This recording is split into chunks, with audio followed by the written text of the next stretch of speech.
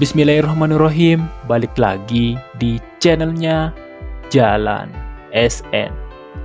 Oke, bagi teman-temanku yang saat ini ingin mencetak rekening koran atau ingin melihat secara detail bukti transaksi dan saldo terakhir tiap bulan di rekening tanpa ke kantor BRI, sekarang tidak perlu khawatir. Karena kita sudah bisa cetak rekening koran secara online baik itu tiga bulan terakhir, bahkan satu tahun penuh.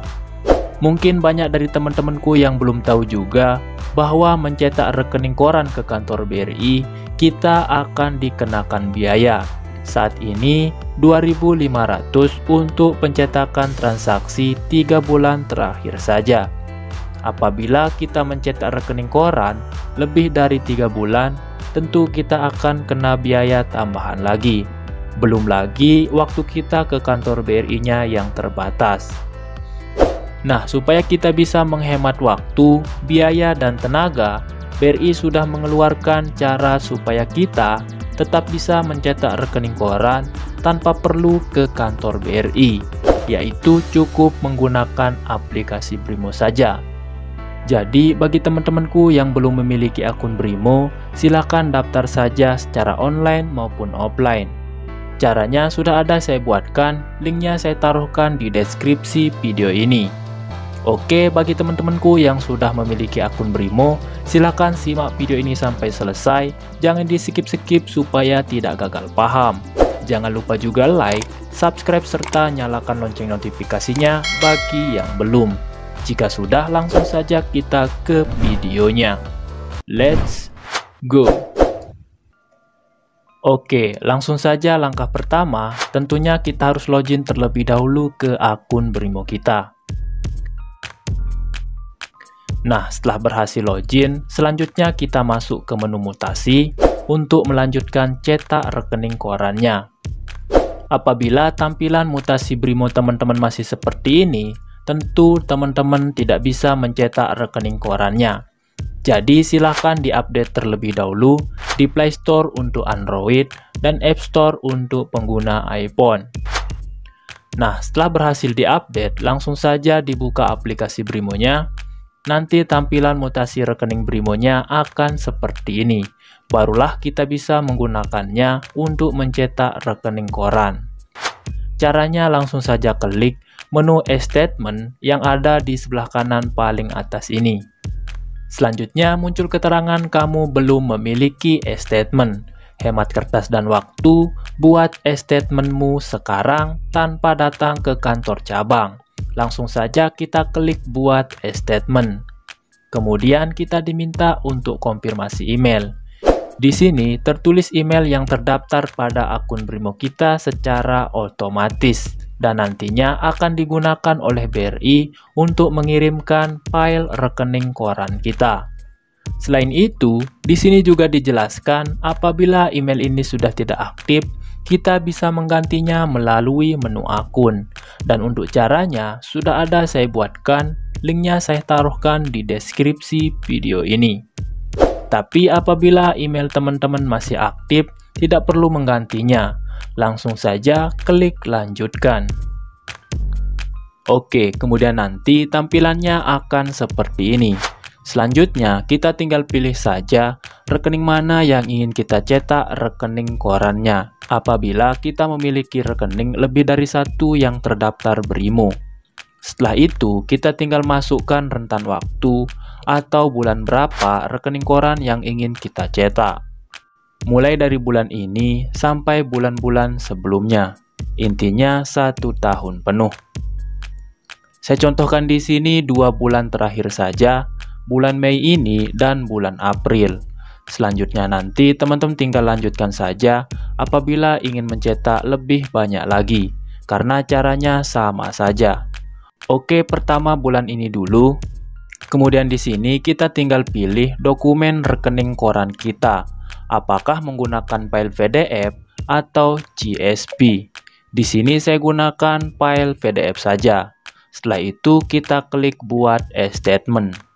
Kemudian klik iya. Nah, nanti akan muncul keterangan seperti ini. memproses e-statement. Mutasi akan dikirim ke email kamu atau dapat diunduh melalui aplikasi Brimo.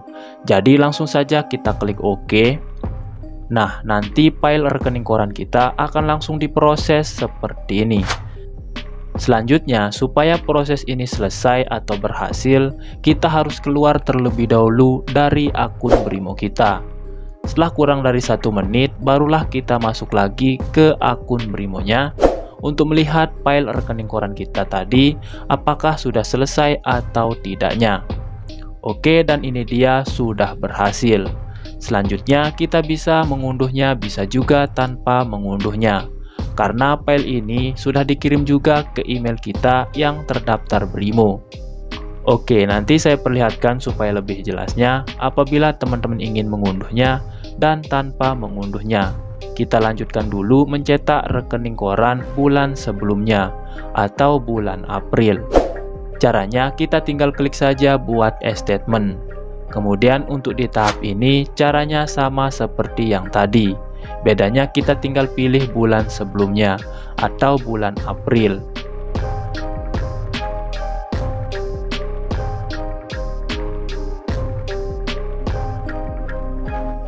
Oke, dan di sini sudah diproses. Selanjutnya kita keluar dari aplikasi Brimonya sama seperti yang tadi.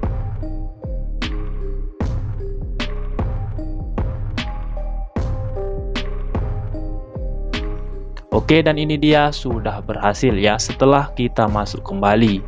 Selanjutnya, apabila teman-teman ingin mengunduhnya, langsung saja klik unduh. file statement berhasil terunduh. Kita tinggal klik OK. Dan ini dia file rekening koran yang sudah kita unduh tadi.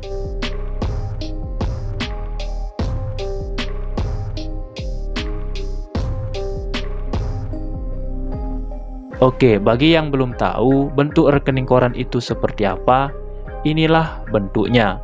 Yang kita cetak di kantor BRI juga nanti bentuknya seperti ini. Nah, seperti yang saya bilang tadi, file ini bisa kita unduh, bisa juga tanpa mengunduhnya. Karena kita juga dikirimkan langsung oleh BRI ke email yang terdaftar pada akun Brimo kita. Oke, dan ini dia emailnya. Langsung saja kita klik. Dan ini dia kedua file rekening koran yang sudah kita request di Brimonya tadi. Untuk melihatnya, langsung saja diklik. Kemudian biarkan saja buka dengan RIP hanya sekali. Nah, nanti tampilan rekening koran kita akan sama seperti yang sudah kita unduh di Brimo tadi. Selanjutnya, apabila teman-teman memiliki printer dan ingin mencetaknya, bisa mencetaknya sendiri. Caranya tinggal klik saja titik tiga di sebelah kanan paling atas ini. Dan nanti akan ada keterangan atau menu cetak seperti ini. Teman-teman tinggal pastikan saja HP-nya sudah tersambung dengan printernya. Tapi apabila teman-teman tidak memiliki printer, bisa juga mencetaknya di tukang printer. Nanti teman-teman bisa menggunakan kirim file ini untuk mengirim filenya ke tukang printernya. Di sini teman-teman bisa mengirimnya melalui Bluetooth, WhatsApp, dan lain-lain. Oke, jadi itulah tadi cara mencetak rekening koran secara online atau tanpa ke kantor BRI yang bisa Jalan SN bagikan di video kali ini. Semoga bermanfaat. Jangan lupa like, subscribe, dan share ke teman-teman yang lain supaya teman-teman kita yang lain juga tahu apa yang kita tahu.